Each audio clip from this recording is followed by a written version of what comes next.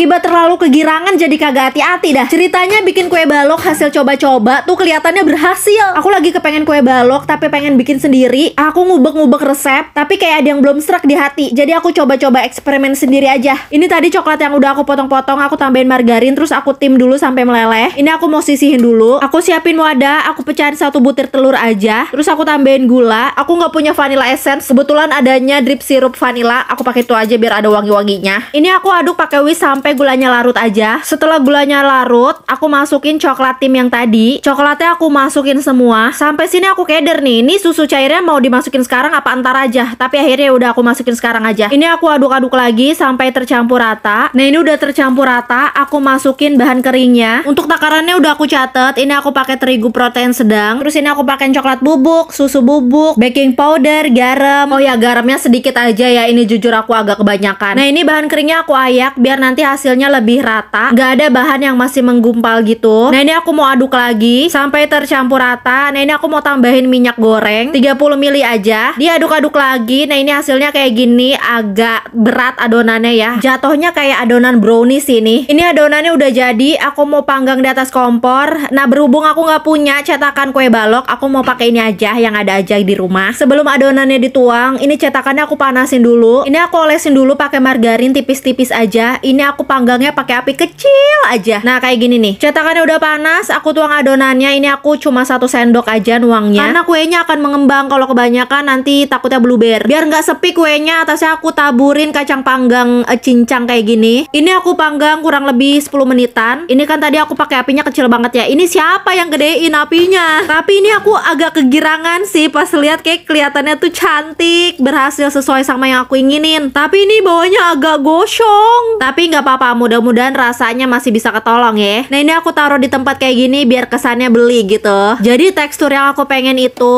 tengahnya tuh masih lumer kayak gini loh. Untuk rasanya sih ini udah enak, tapi bawahnya itu gosong gara-gara tadi apinya tiba-tiba gede gitu. Kayaknya gara-gara knopnya nggak sengaja kesenggol aku deh. Tapi untuk percobaan pertama sih ini udah lumayan berhasil sih. Namanya juga percobaan, bisa berhasil bisa gagal. Tapi kayaknya aku lebih sering gagalnya deh. nah yang ini aku saking hati-hatinya pakai api kecil banget. Terus kayaknya ini aku manggangnya kelamaan. Walaupun nggak gosong tapi ini nggak lumer jadinya. Jadi kayak brownies gitu loh. Tapi ini enak sih. Kapan-kapan mau coba lagi sampai berhasil.